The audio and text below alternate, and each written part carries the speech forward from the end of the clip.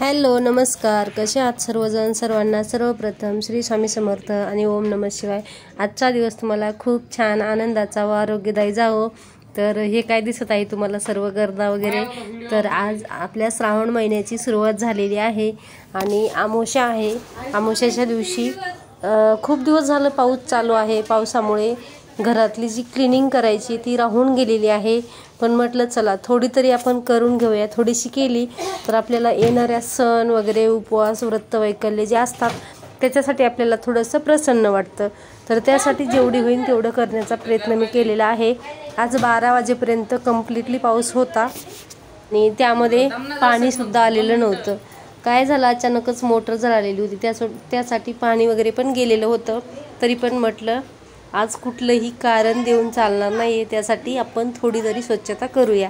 कारण बऱ्याच दिवस झालं कॉट खाली पण उंदीर मामा जो आहे तो भरपूर सारा असं म्हणजे फिरत होता. हे बघा हा जो कचरा आहे तो उंदीर मामानाच आणलेला आहे. आणि त्यानं त्याचं घरसुद्धा इथं तयार केलेलं आहे. बघा कसे पिल्लं जे आहेत ते त्याने तिथे दिलेले होते. ते पिल्लं आम्ही एकदम असे म्हणजे खूप वेळ त्या पिल्लांनाच बघत होतो. त्यांना कुठं टाकावं कुठं ठेवावं हेच आम्हाला कळत नव्हतं मी जाऊत का रूम सोडून? का रे? तुला त्रास देतो ना आम्हाला? नाही. देत?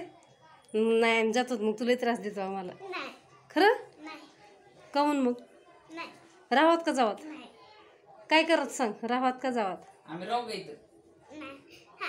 आम्ही राहूत ना नाही जायचं आम्ही. पदी मग आता एक. आता एक पदी मग तुझी दी इकडे इकडे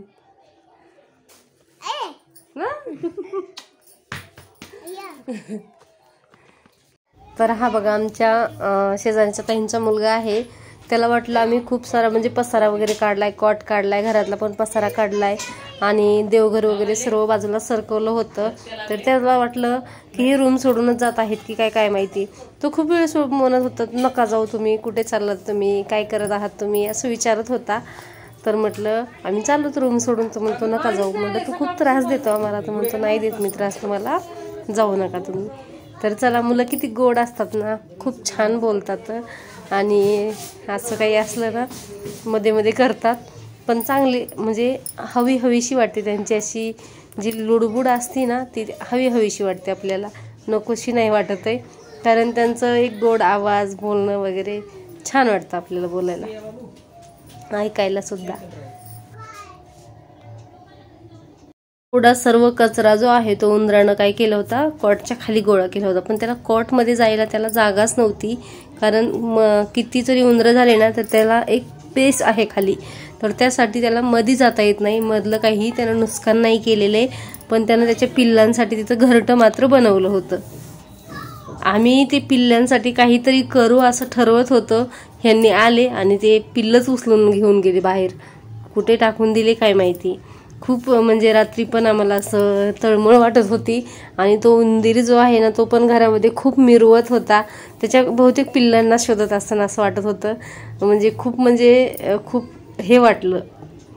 पण आता इलाज नव्हता. ते आपण घरातही ठेवू शकत नाही आणि टाकून द्यावं तर आपल्याला करमतही नाही. तर चला इथं काय केलेलं आहे मी.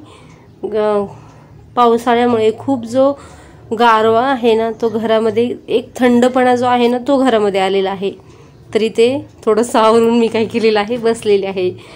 काय झालंय काय माहिती? ह्यावेळेस तब्येत बिघडल्यापासून थोडंसं थकवा सारखा सारखा जाणवायला लागलाय मला. तर त्यासाठी थोडंसं काम केलं की बसावंसं वाटतंय.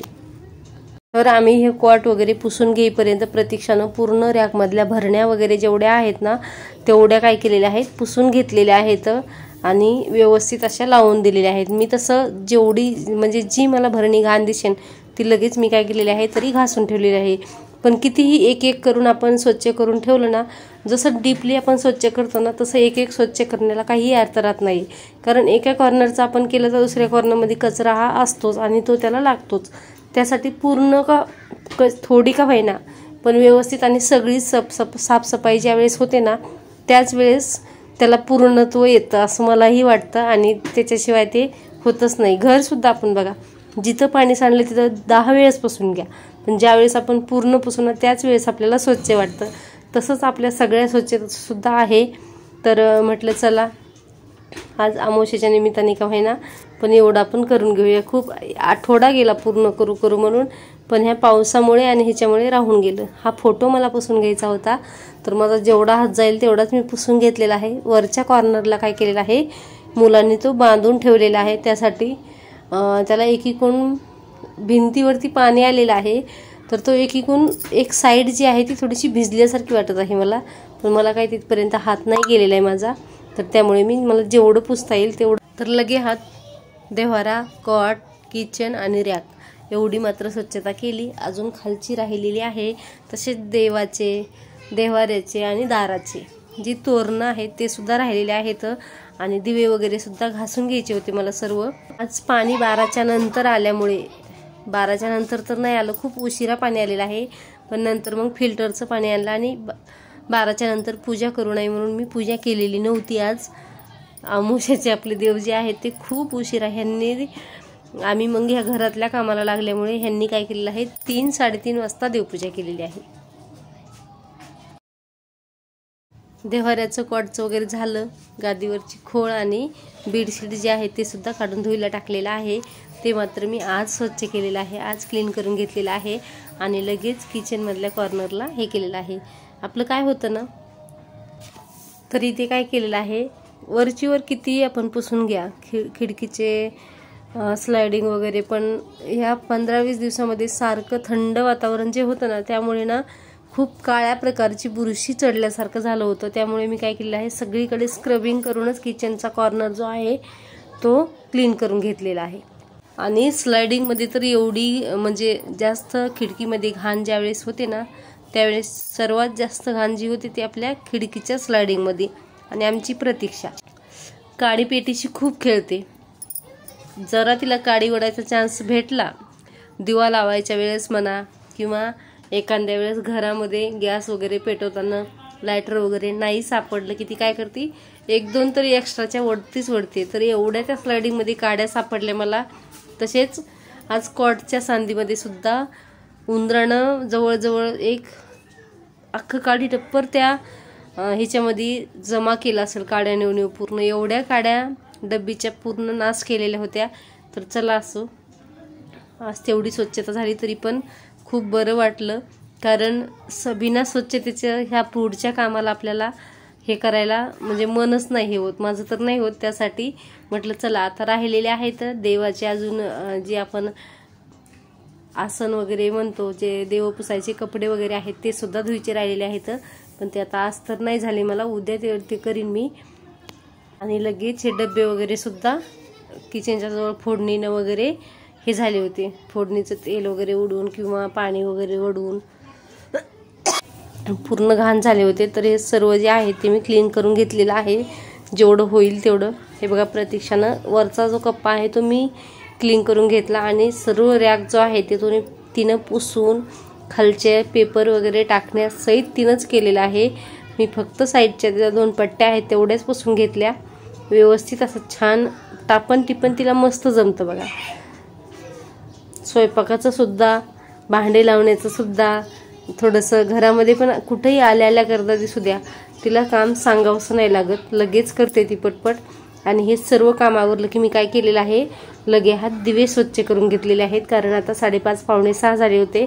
तर त्यासाठी दिवे क्लिनिंग सु करून घ्यायचे होते मला. तर मी त्यासाठी चिंचेचं गरम पाणी केलं आणि पटपट दिवे जे आहेत ते क्लीन करून घेतलेले आहेत. हा पंचारती जी आहे ती थोडीशी मागून थोडीशी राहिलेली आहे. कारण त्याच्या जी डिझाईन असल्यामुळे डिझाईनमध्ये जे पण काळं जाऊन बसलेलं आहे ना तेवढं स्वच्छ करायला वेळ नाही भेटला मला. तर त्यासाठी ते थोडंसं बाकी राहिलेलं आहे. समया वगैरे मस्त आणि छान निघलेले आहेत. प्रतीक्षाने इथं प्रत्येक दिव्यामध्ये वात लावून घेतलेली आहे. आणि मी लगे हात काय केलेले आहेत? कणकेचे सुद्धा पाच दिवे जे आहेत ते करून घेतलेले आहेत. सर्वप्रथम आपल्या गणपती बाप्पाचं पूजन केलेलं आहे आणि प्रत्येक दिव्याखाली थोडे थोडे तांदूळ टाकून त्याला आसन दिलेलं आहे आणि प्रत्येक दिवा जो आहे तो लावून घेतलेला आहे. त्याला फुलं वाहून घेतलेले आहेत आणि आपला जो मोठा दिवा आहे जो दहा दिव्या दिव्यांचा एक मेटलचा दिवा आहे त्यालासुद्धा सर्व दिवे नाही लावून बसले मी. फक्त मध्यंतरी एक दिवा लावला आणि बाकीचे याच्यामध्ये फुलं वगैरे ठेवले आणि सर्व दिवे जे आहेत ते लावून घेतलेले आहेत. मातीचे वगैरे मात्र फक्त दोनच दिवे लावलेले आहेत त्याचा मान केलेला आहे. कारण सर्व दिवे लावायचं म्हटलं ना तर दि एक तर दिवाळीचं फिलिंग खर सर्वात मस्त आलं होतं. आणि त्यातमध्ये सर्व दिवे लावायचं म्हटलं ना तिथं जागाच पुरली नसती. पूर्ण घरामध्ये दिवे झाले असते. कारण एक डझन जे आहेत ते प्लॅस्टिकचे दिवे आणलेले होते. एक डझन जे आहेत ते मातीचे दिवे आहेत. त्यामुळे तेच वीस पंचवीस झाले असते. आणि ह्यातल्यासुद्धा हे साईडचे नऊ दहा दिवे आहेत ते सुद्धा लावले असते ना? तर मग भरपूर झाले झाले असते. चला दिव्यांचा जो मान होता तो केलेला आहे. आणि लगे हात त्याला हळद कुंकू अक्षता वाहून शुभम करोती करून घेतलेले आहे. शुभम करोती कल्याणम. आरोग्यम धनसंपदाय शत्रुबुद्धी विनाशाय दीपक ज्योती नमस्तुते कानी कुंडल मोतीहार दिव्यास पाहून नमस्कार दिव्या दिव्या दीपत्कार तिळाचं तेल कापसाची वात दिवा जळो सारी रात दारची लक्ष्मी घराच्या आत येऊ सर्वांना उदंड आयुष्य देवो. तर तुमच्या आमच्या आयुष्यातील सर्वांचा अंधकार नष्ट हो ओ ज्ञानाचा प्रकाश देवो अशी आपल्याला प्रार्थना करायची आहे. आणि आपल्याकडून काही चूक भूल झाली असेल तर माफ करा अशी सुद्धा प्रार्थना आपल्याला करायची आहे. त्याचबरोबर जे कणकीचे दिवे आहेत त्यांनी आपल्या मुलांना ओवाळून घ्यायचं आहे. तर अशा प्रकारे साधी सोपी दीप अमावस्या आपण साजरी केलेली आहे आणि आपल्या श्रावण महिन्याचं स्वागत आपल्या दीप अमावस्यानं केलेलं आहे. तर इथे मी व्हिडिओचा एंड करते. व्हिडिओ आवडला असेल तर नक्कीच लाईक शेअर आणि सबस्क्राईब करा. तर पुन्हा भेटूया अशाच एका नवीन व्हिडिओमध्ये. तोपर्यंत सर्वांना बाय आणि ओम नमः शिवाय.